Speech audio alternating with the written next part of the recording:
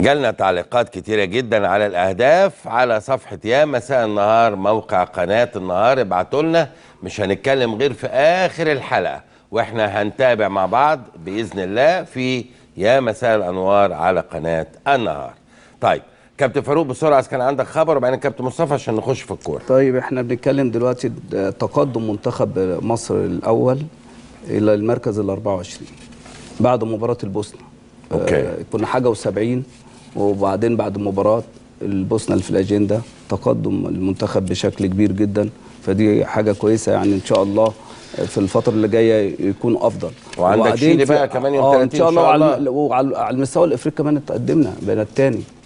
يعني بعد بعد كوت ديفوار. أيوه بعد كوت ديفوار آه بقينا الثاني جه بعدينا الجزائر وغانا والراس الأخضر. يعني التقدم إن شاء الله في حتى في المباريات ال- ال- ال- بتاعة الأجندة اللي هي مش المباريات الر- يعني تعتبر الودية الرسمية. نعم. آه، في تقدم كتير. فإحنا ان شاء الله في الفترة الجاية يكون عندنا الدافع إن إحنا نحافظ على المكانة. أنت النهارده بت- بت- بت- بتقيم من مباراة سواء آه، دولية رسمية أو دولية آه، ودية. نعم.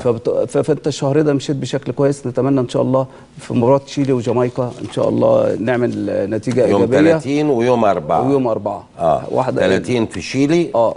في لا في آه، في شيلي والثانيه في لندن. وجامايكا في لندن يوم 4 أربعة. إن شاء الله يبقى ال- النتيجة إيجابية. نتقدم شوية بشكل جيد للمنتخب. وكل ده برضك لما بتحس إن المنتخب فيه تقدم بتحس طبعاً. إن فيه استقرار. وكورة إن شاء الله ترجع زي ما كانت وأفضل كمان. بالظبط كده. كابتن مصطفى. الحقيقة أنا اخترت من ضمن أخبار النادي الأهلي آه، نقطة مهمة جدا كنا دايما كنت بتكلم فيها كابتن مدحت وده شيء مش هنقدر نغفله نهائي بالنسبة للاعيبتنا ونجومنا كلها في كل أندية مصر الحقيقة ودي كانت أزمة كل الأندية. نعم. لكن دايما الوعود لما تتحقق يا كابتن مدحت بيبقى فيه مصداقية عند اللعيبة وده اللي حصل بالظبط في النادي الأهلي واللي أشار بيه الكابتن علاء عبد الصادق مدير الكورة هذا الرجل المحترم الفاضل اللي من أنجح مديرين الكورة اللي اشتغلوا في النادي الأهلي الحقيقة مع مجموعة كبيرة جدا من من من ولاد النادي يعني. نعم. آه، وهي بتتمثل في آه، لم الشمل. لم الشمل بعد الأداء الغير جيد اللي في ماتش سموحة حصل إن اللعيبة خدت دفعة من مستحقاتها. واللي عاجبني في الموضوع إن في شفافية كابتن مدحت. كابتن علاء عبد الصادق بيقول إيه؟ إن حسب الوعد من المهندس محمود طاهر رئيس النادي الأهلي إنه وعد اللعيبة. وبعدين بيقول من وسائل التركيز يعني يعني الفترة اللي جاية على توفير كل وسائل التركيز للاعبين مشيرا إن الدعم المادي هو جزء من هذه الوسائل. نعم. فبالتالي اللعيبة طبعا الوضع اختلف تماما من ماتش الاتحاد آه، لما نيجي هنتكلم فيه. وقال الكابتن علاء عبد الصادق إن الفترة اللي جاية هتبقى أفضل كتير إن شاء الله خاصة النادي الأهلي آه، آه، اعتلى القمة لمدة ساعات وبعد كده سموحة وإن شاء الله يوم الأحد طبعا بصفتي أهلاوي مش هقدر أخبي طبعا يعني. الأهلي اعتلى القمة وساعتها هيبقى الفرقتين متساويين في في المباريات والأهلي يكمل لنهاية المسيرة بإذن الله. نعم. كل التوفيق لعلاء عبد الصادق والفريق الكورة وللنادي الأهلي ونادي الزمالك. جميل. والحقيقة الدوري ولع. آه ما إحنا لسه هنتكلم نعم. دلوقتي في كل الاحتمالات. إحنا اتكلمنا الأسبوع اللي فات هنرجع نتكلم النهارده في احتمالات أخرى. خلينا أقول لحضراتكم إنه خلاص رسميا الأهلي هيلتقي مع المحلة أو هي مباراة المحلة. المحلة والأهلي في المكس. هتبقى في استاد المكس بمشيئه الرحمن يوم الأحد القادم هتبقى الساعة 4 أربعة. يا كابتن أربعة. 4 ظهرا خلاص والمنيا والإسماعيلي يوم الاثنين في الدفاع الجوي الساعة 6 مساء مباراة مهمة جدا للإسماعيلي. طبعا. وباقي مباريات الأسبوع هتبقى يوم الثلاثاء بمشيئة الرحمن آه. لأنه الزمالك هيلعب أيضا على ملعب الدفاع الجوي. يمكن الأسبوع ده بعد انتهاء المباريات دي المسائل هتتضح بنسبة كبيرة للغاية. صح. للغاية. طيب. الخبر الثاني السريع إن الأهلي يا كابتن حسن وافق على المشاركة في بطولة كأس مصر. كان في لا، كلام. يوافق ما يوافقش الزمالك كان وافق. الأهلي النهارده لا هو المجلس اللي. فات يا كابتن مدحت اللي ما كانش موافق آه. لكن هذا المجلس بعد طلب الكابتن مصطفى فتحي مبروك يكون عنده المع... آه. بعد طلب الكابتن. فتحي مبروك ف آه المجلس وافق لأن ما ينفعش كورة من غير أهلي وزمالك ما نعم. ينفعش بأي حال من الأحوال يعني- يعني, آه. يعني أنا راجل بنتمي للنادي الأهلي ودي مش سر أنت عارف الوضوح والصراحة يعني إن إحنا قاعدين بنتفرج ماتش اللي فات وعايزين الزمالك يجيب جول لأن ما ينفعش الزمالك يبعد هذه ال- ال- القامة الكبيرة في, في الرياضة وفي الكرة المصرية. بالظبط. إنه يبقى في نادي الزمالك مش موجود في في المربع الذهبي يا كابتن حسن. نعم. كابتن فاروق. فطبعا آه، آه، جناحي الكرة المصرية عشان المتعة والإثارة وال- وال- والتنافس. كابتن في نقطة محددة. النادي الأهلي آه، وافق يعني بعت النهارده لاتحاد الكورة على الموافقة في المشاركة في كأس مصر؟ مم.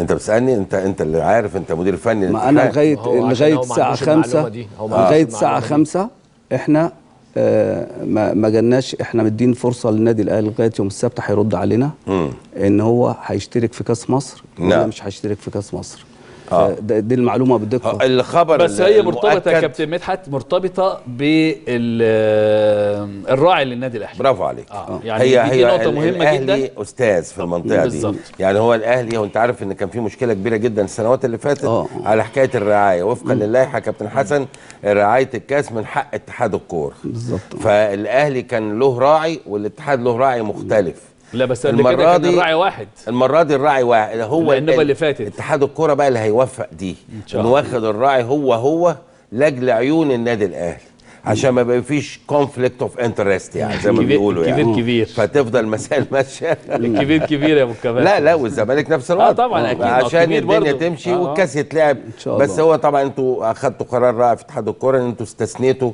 الأهلي والزمالك من دور يعني يلعبوا دور ال 32 على طول بس برضه ده سؤال برضه يا كابتن نروح للكابتن فاروق ونسأله السؤال ده يعني آه. وهيتلعب إمتى كاس مصر؟ له تواريخ له تواريخ لا معلش لا ما إحنا هنبص بقى للظروف بت... اللي هي هتبقى حاصلة. يعني إحنا النهارده هنبدأ لما تبقى في أربع فرق هيلعبوا من دورين ولا من دور واحد. نعم. دي حاجة لسه متعرفة. ما برضه هيجيبها هيجاوب عليها فاروق جعفر هقول لك أهو. هتبقى إيه؟ مش عارفين هيلعبوا. من دور واحد ولا م... أيوه ما أنت ما تعرفش حاجة لسه ما اجتمعتوش وما قررتوش مثلا. أو أو هنلعب من دورين. دي حاجة. الحاجة الثانية إن أنت مش هتبقى في أي مسابقات بتتلعب أول ما يبدأ كأس العالم. نعم. يعني اذا عندنا من 12 6 لغاية 13 يوليو مفيش أي حد هيلعب أي مسابقه لا لا في لعبة يا كابتن أنا سمعت يا. كابتن لا، إن لا، اللي أنا أعرفه إن إن النادي كاس العالم. خد بعت. للاتحاد الدولي وخد موافقة كابتن حسن هو الفكرة كابتن خدوا موافقة حسن من الاتحاد الدولي ان يلعب أثناء ال- أنا قريت قريت الخبر. كان فاروق لسه من شوية بيقول لنا لا يفتى ملك في المدينة. قرار دلوقتي إن هو ممكن لو حصل أي حاجة أو أي تدخلات حكومية في ال- في كرة القدم أو في الرياضة أو أو أو أو هيوقف النشاط خالص في اتحاد الكره ده أنا لسه أنا هجاوب. حضرتك في الجزئية دي. هو نمرة واحد بما إن أنت مالكش منتخب بيلعب في بطولة كأس العالم دي بتخليك في منطقة محايدة من البطولة أدي واحد كويس اتنين جميع مبارياتك هتتلعب في غير توقيت مباريات كأس العالم لأن مباريات البرازيل بالليل. من 12 حضرتك آه، وانت طالع يعني آه. في, تو- في وقتنا ده في إحنا وقتنا بنلعب بقى الساعة 4 5 آه 4 بالظبط 5 كده في آه. وقتنا ده. يعني من من 12 وأنت طالع فبالتالي القصة هتبقى الظهريات والعصريات ما إحنا بنتمرن والمغربيات إحنا. بنتمرن دلوقتي والمشاهدين كمان لازم. يتمرنوا. آه، أبو علي إحنا بنتمرن دلوقتي آه. ضيف. لدي بقى إن من 12 من 13 5 ل 12 6 يا كابتن حسن مفيش دوري. وهو الدوري واقف ودي- فعندك الجزء ده تقدر تلعب فيه ماتشات كتير جدا هو ده. الكلام ده اللي قالوه لي الحاج عامر حسين. على فكرة هو ده أنا طبعا أنا النهارده كنت بتكلم على الحاج عامر كنا كان في اجتماع النهارده آه وكنا بنتكلم في التوقيت بتاع كأس مصر إن إحنا هنشتغل إن بعد يوم 13 الدوري هيتوقف. نعم. لغاية 6 6 6 ففتره طويلة جدا. آه، نقدر نشتغل فيها كاس مصر نعم. أو أو في فكر تاني لسه يعني ما فيهوش تأكيد ولكن إن شاء الله هنشوف يعني الحاجة اللي هتبقى فيها في حاجات يا كابتن اللي فاروق. فيها يعني هتبقى في حاجات حاصله وهي انتخابات الرئاسة و و و فأنت مش 26 هتقدر- و27 مش 25 هتقدر. 26 برضه يا كابتن بس من يوم لا، 22 من يوم خلاص 22 في الشهر ما. ما فيش كورة 6 6 آه لغاية آه، يعني ما فيش. كورة تمام. نفضل عشان نفضل الدعاية جميل طيب على البركة أنتوا هتروحوا الأول. تنتخبوا ولا مش آه. هتروحوا من غير ما تقول هتنتخب. مين كله آه، لازم طبعا. ينزل ينتخب بقى هو ده. الكلام طبعا. كله لازم ينزل ينتخب طبعا. مش كده يا كابتن إذا كنا إحنا عاوزين بلدنا ترجع كما كانت وإن شاء الله ربنا حميها بإذن الله لازم الكل ينتخب على حسب ما هتنتخب آه براحتك آه لا براحتك ما إحنا الكثافة. بنقول حاجة براحتك الأهم الكثافة الكثافة بس. طبعا طب إيه رأيك في اللي يقول لك إيه لا إحنا مقاطعين الانتخابات يعني إيه مش مو... يعني إيه مقاطع دول ناس مش؟ مصريين دول. يعني واحد واحد آه بلد بتختار رئيس